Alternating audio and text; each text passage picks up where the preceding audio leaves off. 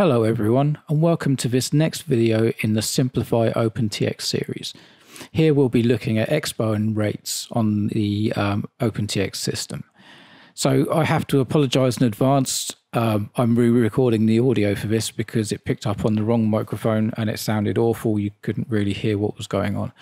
So I'm going to be a bit behind on the video, trying to sort of self-guess myself. Um, right, so here, if you remember in the last video, we set up uh, warnings for our switches, and this is just showing the arming warning working. If you want to know how to set those up, have a look in the first video in this series, and it will show you in there how to do it. It's really easy. But now, if we press menu and then page, we can start going into the models. And what we're going to look at first is Expo. So I'm going to show you first what Expo does uh, and I'm going to use the graph in the inputs. Usually when setting up Expo, I'll do it on the mix page rather than the inputs page. But we'll get into the input. So we'll hold down enter and we'll press edit and that shows us the graph here. On the Expo at the moment, we have a nice linear uh, line. So however much we move the stick, it's going to be proportional in uh, each direction. So if we move it a little bit, it moves a little bit.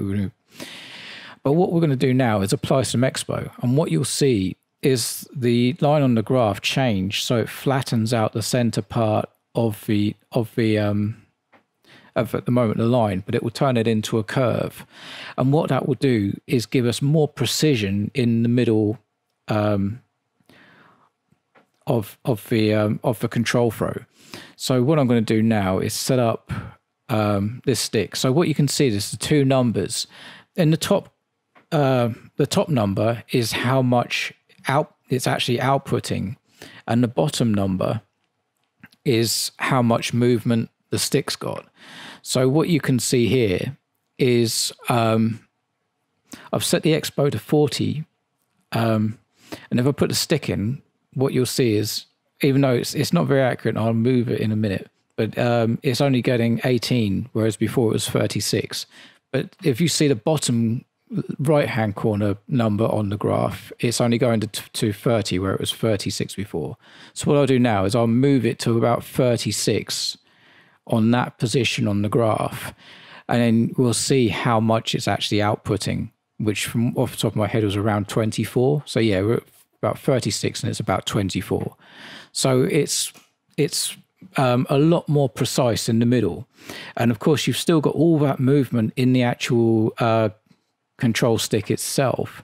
So, what that translates to is more precision in the middle part of the curve.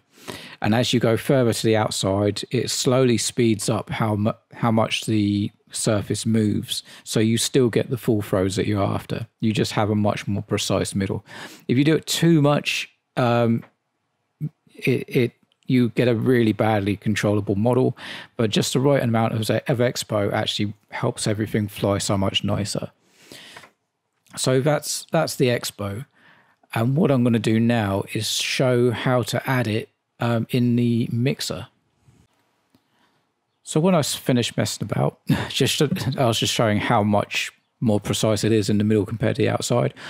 But what we'll do is we'll reset the expo in the input back to zero um, so that when we do the changes in the mixer, it's not affected by this whatsoever.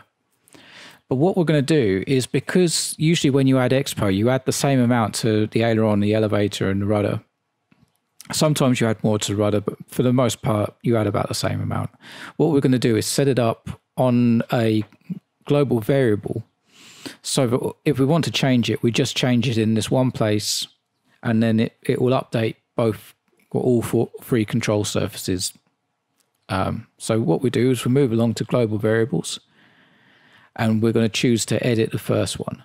So what we're going to do is we click the enter button and then we'll update update that to about 35, which is a, you know a fair expo number. Usually it's between 30 and 40, uh, unless you're on 3D planes when they have it higher. And then we'll give it a name um, of XPO for Expo. So again, just just to recap, um, if you want to make a letter a capital letter, you hold down the enter button. If it's already a capital, if you hold down the enter button, it will go back to lowercase. So there we go. We've we've created our global variable, given it a name so we know what it is. And next, what we're going to do is go into our aileron, edit it, and what we're going to do is change the curve type. Now we need to set this to expo. Then what we do is press enter, move over to the zero, hold it down, and we can access the global variables. So we choose our XPO. And then what you'll see in this screen is I actually did it wrong. So we're going to change that to Expo again. So click it, use the plus or minus buttons to get down to Expo, enter, and then hold enter down, and then choose the Expo curve. Or, or it's not a curve, sorry, global variable. Now what we'll do is we'll come out and you can see I've switched on the receiver and you can see that the servos are moving. And in the middle, there's not a lot of movement, but on the outside, you get the full range. So that's that's our 35% or 35 expo working. So now what we're going to look at is rates. I mean, it's traditionally called dual rates, but a, with a three position switch, it would be triple rates. but, you know, however many positions you've got, is how many sets of rates you can have if you like. So what you can see here is with the full stick movement, the servo is moving so far. And what rates does is allow you to reduce how far the servo moves. So for example, if you've got um, I don't know, let's let's take the example of a fast model when you're flying slow, you might want a bit more movement for control, but as you your speed builds up, you may want to reduce the rates so that you don't have such a a big movement when you're traveling at faster speeds. Um, you know, same with potentially a, a high performance sports plane. You may only want a low movement for when you're doing stuff like taking off or landing or you know, just general flying, but then you want to flick a switch and get the full rates for you doing 3D or acrobatic maneuvers. So that's where rates come into it. So what we're going to do is go into the um, aileron and I'm going to hold down the enter button and then we'll choose edit. And then what we're going to do is go down to the switches and you, you, to assign a switch is simple. You just click enter, move the switch, put it where you want it, and then click enter again and that's set. So we've set our switch for the full rates. So now what we need to do is copy um, that mix and we just drag it down one position so that it stays in the same channel. It's just an extra control on that channel. So again, we hold enter, edit, and then this time we're going to reduce the rate to say 70%. I think I did it. So there we go, 70. And now what we need to do is confirm that and then go down to the switch. Set that to the center position. Then we can come back out, make another copy. Um, again, we want to keep it in the same channel, edit it. And we're going to change this one down to 50%. And then we'll go down to the switch and we will set that to the, the low position. So that's all three positions done. So now we have high rates, medium rates, and low rates.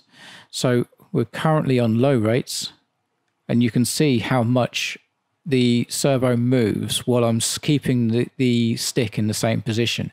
That's the rates allowing more or less throw through.